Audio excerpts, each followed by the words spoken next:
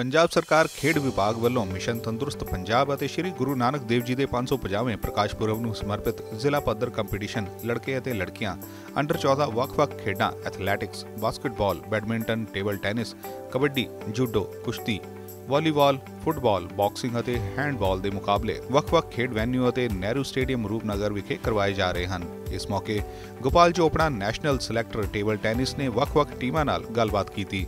ਖਿਡਾਰੀਆਂ ਨੂੰ ਖੇਡਾਂ ਵੱਲ ਵੱਧ ਚੜ੍ਹ ਕੇ ਹਿੱਸਾ ਲੈਣ ਲਈ ਕਿਹਾ ਅਤੇ ਨਸ਼ਿਆਂ ਤੋਂ ਦੂਰ ਰਹਿਣ ਲਈ ਕਿਹਾ। ਉਹਨਾਂ ਮੁਕਾਬਲਿਆਂ ਦੇ ਨਤੀਜੇ ਸੰਬੰਧੀ ਵੀ ਜਾਣਕਾਰੀ ਸਾਂਝੀ ਕੀਤੀ।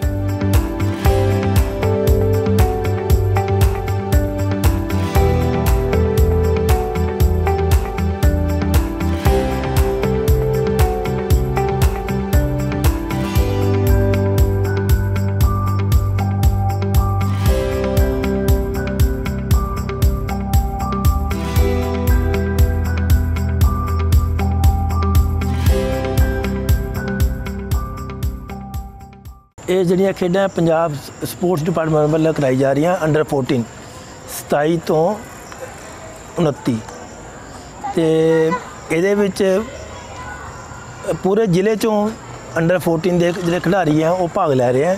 ਤੇ ਅੱਜ ਅਸੀਂ ਜਿਹੜਾ ਇਨੋਗ੍ਰੇਸ਼ਨ ਸਾਡੇ ਮਾਨਯੋਗ ਐਸਡੀਐਮ ਸਾਹਿਬ ਨੇ ਕੀਤੀ ਸੀ।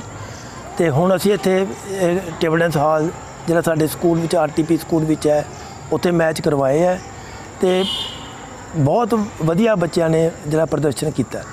ਤੇ ਕੀ ਬੱਚਿਆਂ ਨੂੰ ਮੈਸੇਜ ਦੇਣਾ ਕਿ ਬੱਚੇ ਅੱਜ ਕੱਲ ਜਿਹੜੇ ਖੇਡਾਂ ਤੋਂ ਟੁੱਟ ਕੇ ਮੋਬਾਈਲਾਂ 'ਚ ਜਾ ਰਹੇ ਆ ਜਾਂ ਨਸ਼ਿਆਂ 'ਚ ਪੈ ਰਹੇ ਕੀ ਮੈਸੇਜ ਦੇਣਾ ਚਾਹੁੰਦੇ ਉਹਨਾਂ ਨੂੰ? ਇਹ ਇਹ ਜਿਹੜੀ ਜਿਹੜੇ ਆ, ਕਹਿੰਦੇ ਉਪਰਾਲਾ ਹੈ ਸਪੋਰਟਸ ਡਿਪਾਰਟਮੈਂਟ ਦਾ ਬਹੁਤ ਵਧੀਆ ਹੈ। ਇਹਦੇ ਨਾਲ ਜਿਹੜੇ ਬੱਚੇ ਹੈ ਨਸ਼ਿਆਂ ਤੋਂ ਦੂਰ ਹੋਣਗੇ ਫਿਜ਼ੀਕਲੀ ਫਿੱਟ ਰਹਿਣਗੇ ਤੇ ਛੋਟੇ ਲੈਵਲ ਤੋਂ ਜਿਹੜਾ ਆਪਾਂ ਟੂਰਨਾਮੈਂਟ ਕਰਵਾ ਰਹੇ ਆ ਇਹਦੇ ਨਾਲ ਬੱਚੇ ਬਹੁਤ ਹੀ ਉਤ- ਉਤਸ਼ਾਹਿਤ ਹਨ। ਤੇ ਬੱਚਿਆਂ ਨੂੰ ਉੱਥੇ ਡਾਈਟ ਵੀ ਦਿੱਤੀ ਗਈ ਤੇ ਬੱਚੇ ਬਹੁਤ ਜ਼ਿਆਦਾ ਖੁਸ਼ ਹਨ ਕੀ ਨਤੀਜੇ ਨੇ?